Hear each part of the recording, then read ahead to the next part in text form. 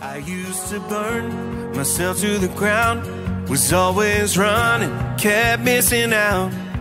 Always wondered what everyone was talking about. Hey guys, it's Bryce Sainty here, and this is my brand new single, Coast.